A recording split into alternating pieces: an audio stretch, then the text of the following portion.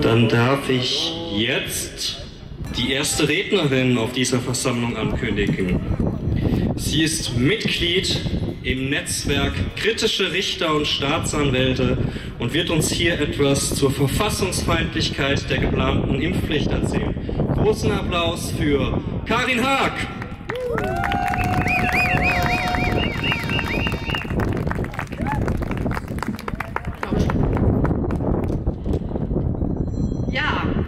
Im Schatten des Ukraine-Krieges hat der Bundestag am 17.03.2022 erstmals über die konkurrierenden Anträge zu einer allgemeinen Impfpflicht beraten. Bereits Anfang April 2022 soll endgültig über die Einführung einer Impfpflicht abgestimmt werden. Damit das Gesetz in Kraft treten kann, muss nicht die Mehrheit der Mitglieder des Deutschen Bundestages, das wären 369 Stimmen, zustimmen. Vielmehr ist die Mehrheit der anwesenden Abgeordneten ausreichend. So wie viele Abgeordnete der Grünen und anderer Parteien auch, hat auch die Heidelberger Bundestagsabgeordnete der Grünen, Frau Dr. Franziska Brandner, den Gesetzesentwurf zur Aufklärung, Beratung und Impfung aller Volljährigen gegen SARS-CoV-2 mit eingereicht, wonach Personen, die seit mindestens sechs Monaten ihren gewöhnlichen Aufenthalt in der Bundesrepublik Deutschland und das 18. Lebensjahr vollendet haben, verpflichtet werden sollen, ab dem 1. Oktober 2022 über einen Impf- oder genesenen Nachweis zu verfügen. Den Entwurf dieses Gesetzes folgend soll die Bundesregierung die Intervallzeiten, die nach jeder Einzelimpfung für einen vollständigen Impfschutz abgewartet werden müssen und die zwischen den Einzelimpfungen liegen dürfen, festlegen. Es besteht wenig Zweifel, dass das Gesetzesvorhaben auf ein Zwangsabonnement für halb- oder vierteljährliches Nachimpfen abzielt.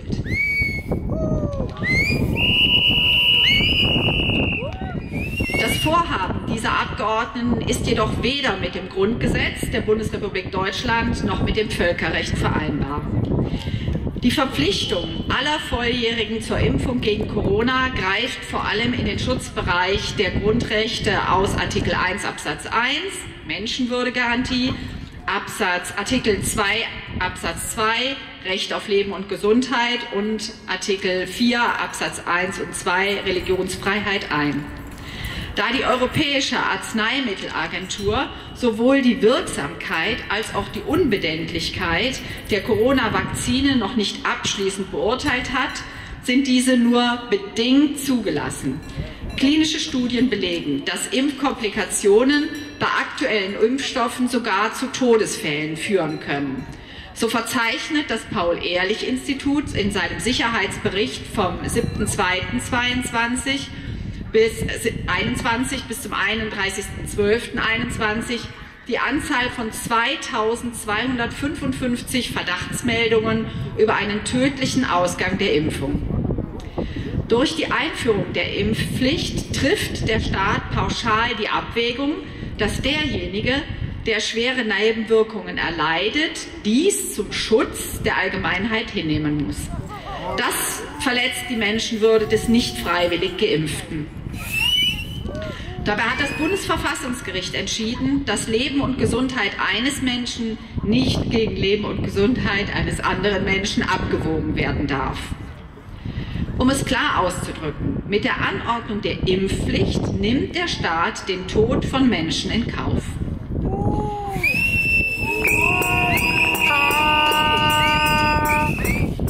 Ohnehin ist ein Eingriff in Grundrechte nur verfassungskonform, wenn er einen legitimen Zweck verfolgt.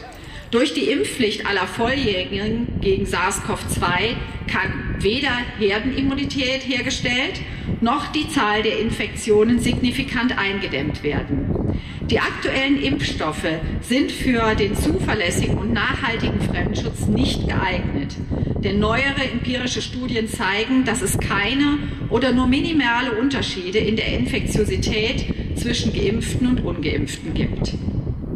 Auch die Gefahr einer Überlastung des Gesundheitssystems besteht nicht, Die Infektion mit der aktuell dominierenden Virusvariante Omikron führt in der Regel zu Krankheitsverläufen, die weder eine Krankenhausbehandlung noch eine Überweisung auf die Intensivstation erforderlich machen.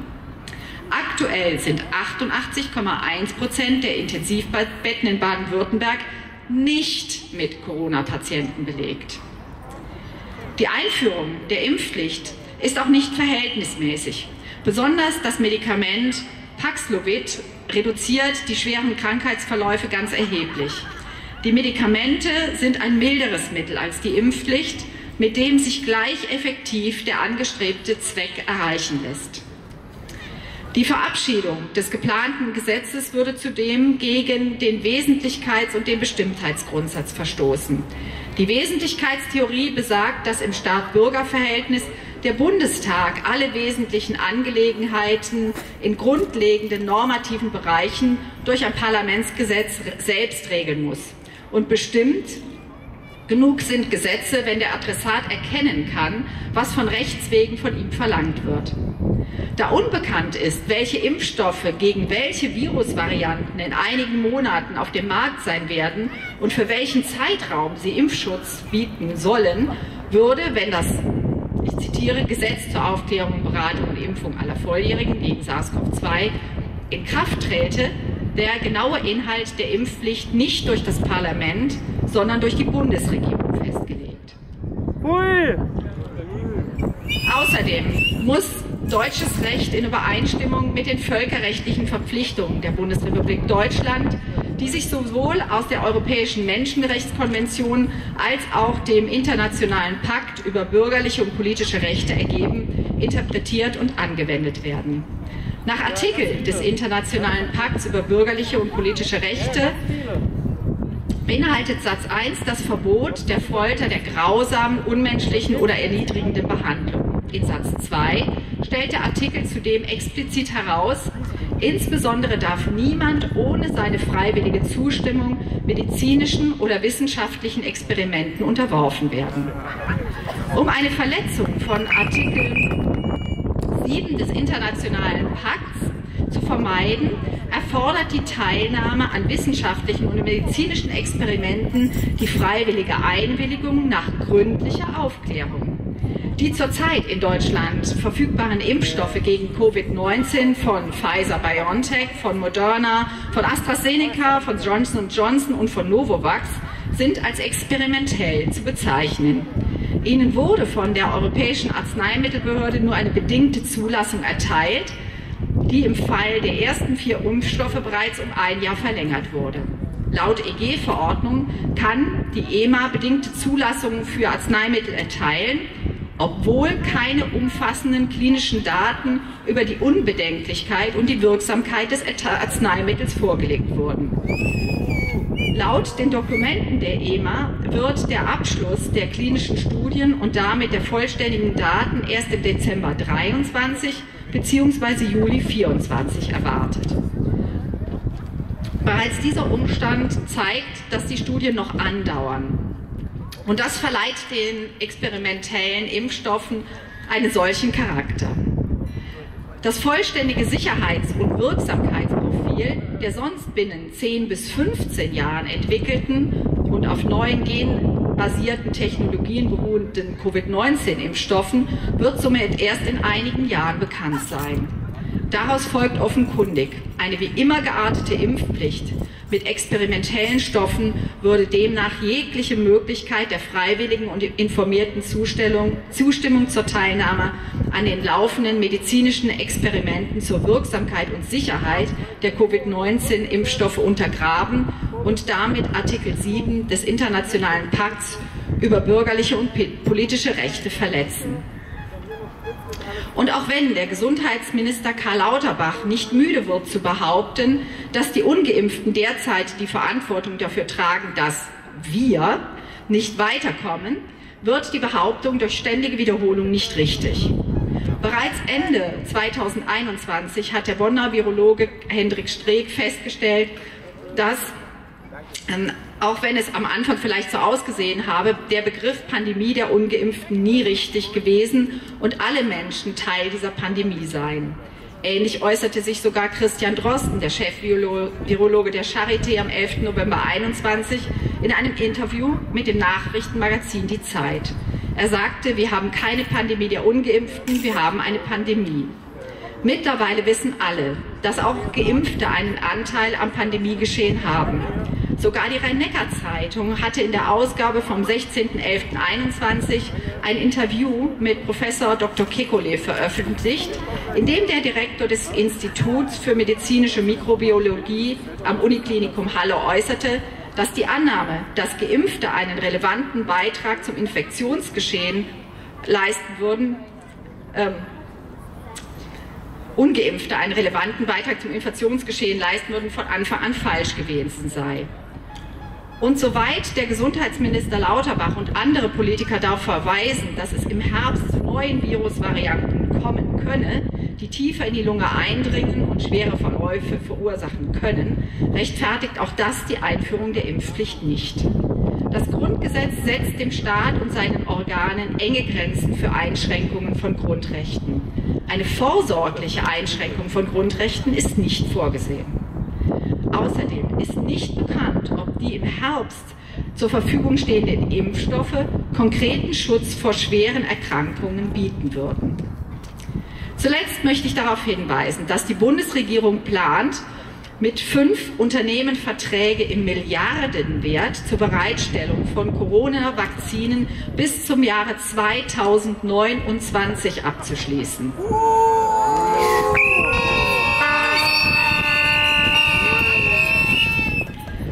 Ein Schelm, der Böses dabei denkt.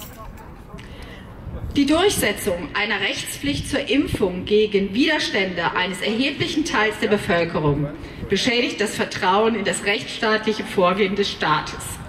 Die allgemeine Impfpflicht ist Grundgesetz und völkerrechtswidrig.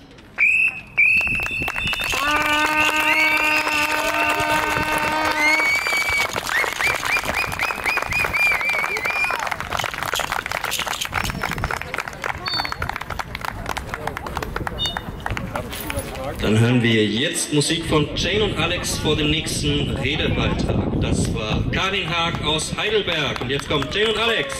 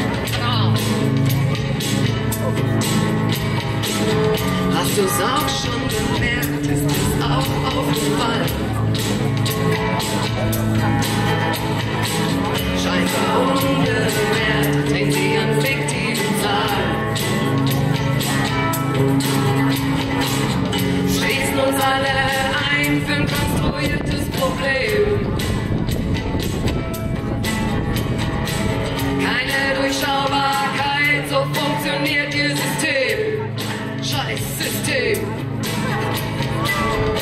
Du auch drüber nach, kannst du auch nicht mehr schlafen.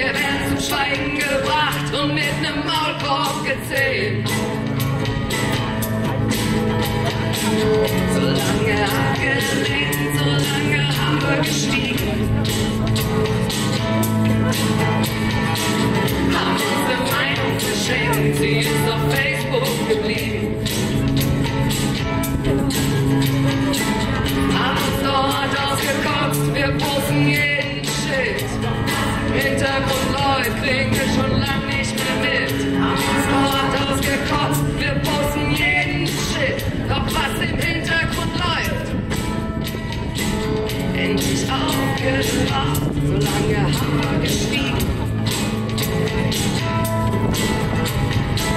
Und wer sich den werden sie sicher bestrafen. Jede Form von Kritik wird in keinem erschlägt. Entgegen ihrem Schwur etablieren sie die Zensur. this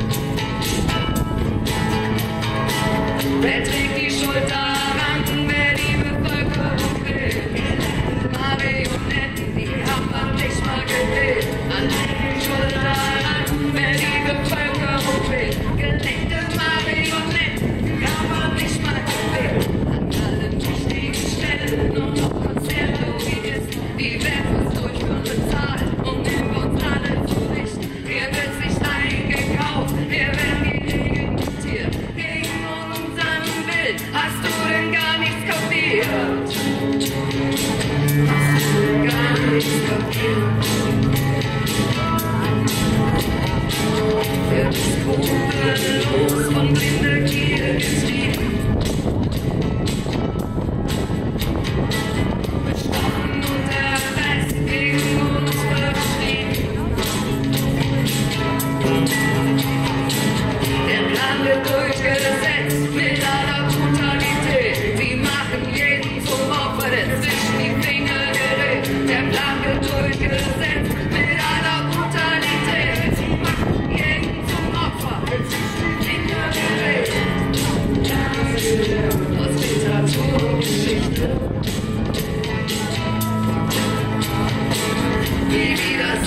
geschehen, doch ihr wart selbst, warst du nicht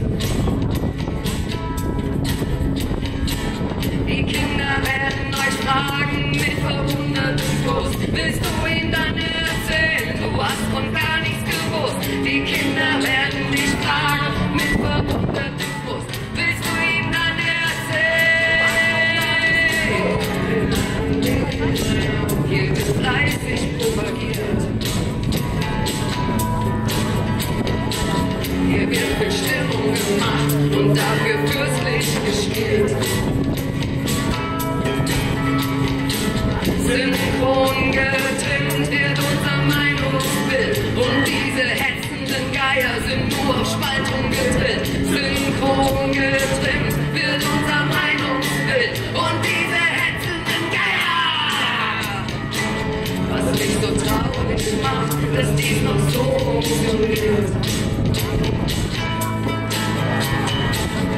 nicht mal gut gemacht, ist so viel.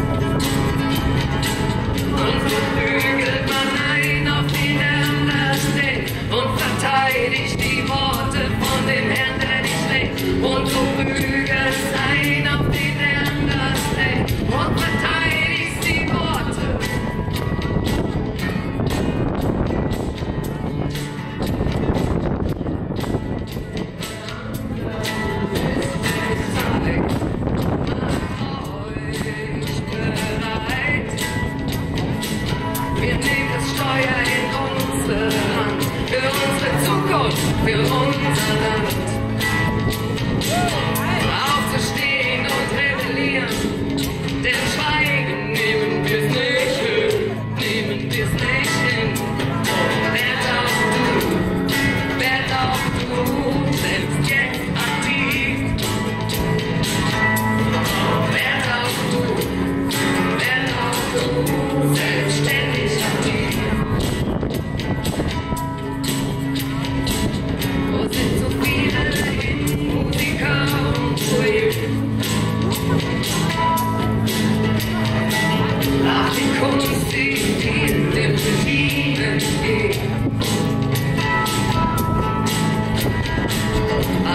stay.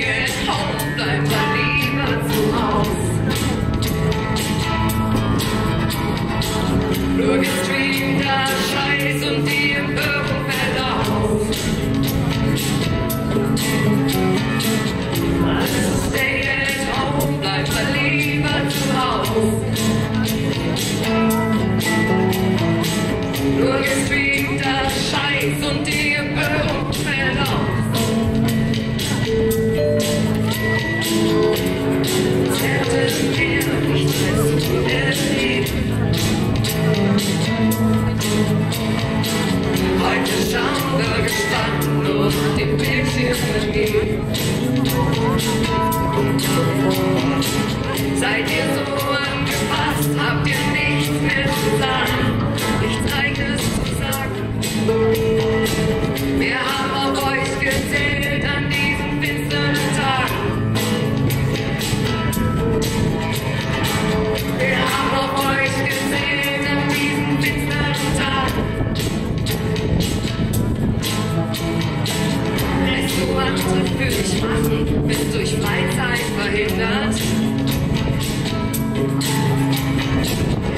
stehen hier auch für dich ein, für all unsere Kinder.